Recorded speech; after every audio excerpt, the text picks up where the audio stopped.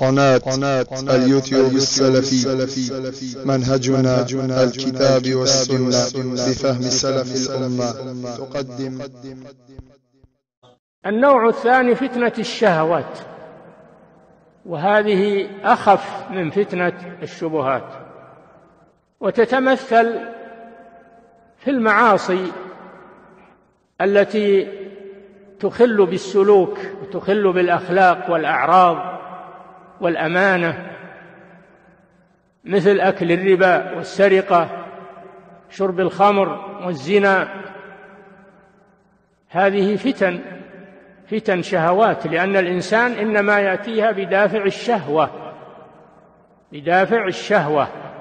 تدفعه شهوته حبه للمال يدفعه لأخذ الربا يدفعه لأخذ الرشوة.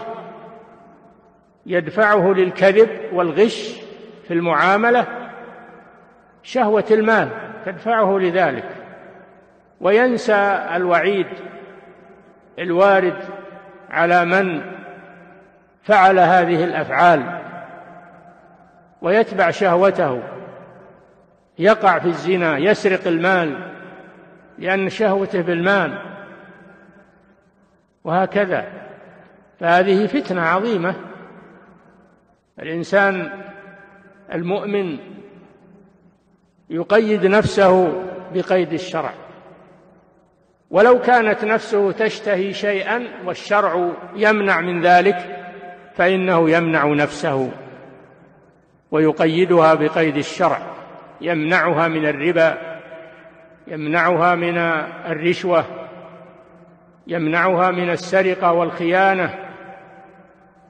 يمنعها من أكل أموال الناس بالباطل يمنعها من الكذب يمنعها من الغش يمنعها من جميع ما يخل بالأخلاق. لأن هذه الأشياء تهلك النفس وإذا أطلق الإنسان لنفسه العنان فيها فقد ظلمها. ظلم نفسه لأن نفسه أمانة ورعية تحت يده فيجب عليه أن يحفظها وأن يقيدها بقيد الشرع. ولو كانت تريد المعاصي وتريد الشهوات فإنه يمنعها من ذلك. فأما من خاف مقام ربه ونهى النفس عن الهوى فإن الجنة هي المأوى. نهى نفسه عن الهوى. فأما من طغى وآثر الحياة الدنيا فإن الجحيم هي المأوى. وأما من خاف مقام ربه ونهى النفس عن الهوى فإن الجنة هي المأوى.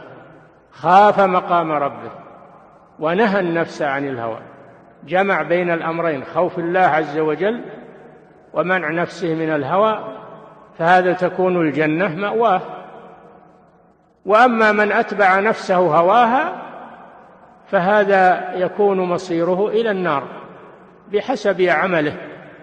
إما مصيرا مؤبدا للكافر والمشرك أو مصيرا الله أعلم بمداه لكنه لا يخلد إذا كان من عصاة المؤمنين والموحدين. فإن الجحيم هي المأوى. ونفس وما سواها فألهمها فجورها وتقواها قد أفلح من زكاها وقد خاب من دساها. أفلح من زكى نفسه. زكاها يعني طهرها. طهرها من الذنوب والمعاصي لأن الذنوب والمعاصي دنس. فالمؤمن يزكي نفسه يعني يطهرها من الذنوب ومن المعاصي. وهذا قد أفلح. وإن كان في الظاهر أنه أهان نفسه لأنه ما أعطاها ما تشتهي ففي الظاهر أنه أهانها. ولكنه في الحقيقة قد أكرمها ومنعها مما يضرها. وإن كان فيه لذة عاجلة فإنه ينظر إلى العاقبة فمن حرصه على نفسه أنه منعه من لذة عاجلة تعقبها حسرة دائمة. هذا هو الذي زكى نفسه قد أفلح من زكاها وقد خاب من دساها يعني دنسها ودسها في التراب وأعطاها ما تشتهي. فنال لذة عاجلة تؤول إلى عاقبة سيئة. فهذا لم ينظر في العواقب. وخان نفسه حيث لم يعمل بمصلحتها.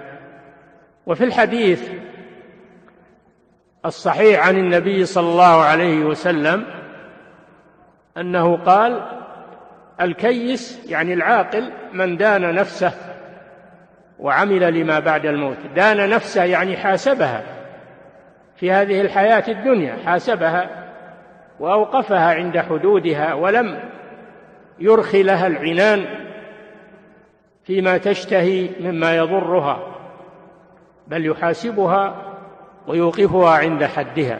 هذا هو العاقل. والعاجز من أتبع نفسه هواها. وتمنى على الله الاماني يضيع الأعمال ويرتكب المحارم ويتمنى أنه يكون من أهل الجنة بدون عمل. لا يمنع نفسه من معصية ولا يلزمها بطاعة. يعطيها الخطام والزمام ويتمنى أنه يكون من أهل الجنة. لا يكون هذا ابدا. أتبع نفسه هواها وتمنى على الله الأماني. هذا عاجز. وأمنيته لن تتحقق لأنه لم يعمل السبب الذي الذي يوصله إلى الجنة. والجنة لا تدرك بالأماني وإنما تدرك برحمة الله جل وعلا التي سببها الأعمال الصالحة. سببها الأعمال الصالحة. فهذه فتنة الشهوات والإنسان مع نفسه في جهاد وجهاد النفس هو من أعظم أنواع الجهاد. الذي لا يجاهد نفسه لا يجاهد عدوه. إذا عجزت تجاهد نفسك كيف تجاهد عدوك؟ أما إذا قدرت على جهاد نفسك فإنك تقدر على جهاد عدوك. فلذلك جهاد النفس هو من أعظم الجهاد بل هو أصل أصل الجهاد. لأن النفس تحتاج إلى مجاهدة لأنها تتفلت إلى الشهوات وإلى المعاصي وإلى المغريات وإلى الملذات. فتحتاج إلى جهاد تحتاج إلى صبر. واصبر نفسك مع الذين يدعون ربهم بالغداة والعشي. ولا تعد عيناك عنهم تريد زينة الحياة الدنيا. ولا تطع من أغفلنا قلبه عن ذكرنا واتبع هواه. وكان أمره فرطا. الذي يريد الجنة يمسك بزمام نفسه ويصبرها على طاعة الله ويصبرها عن معصية الله فهذا قد أخذ بالسبب الواقي بإذن الله من الفتن. أما الذي يعطي نفسه ما تشتهي فهذا يجري وراء الفتن. كل ما ظهرت فتنة بادر إليها لأن نفسه تدفعه إلى ذلك.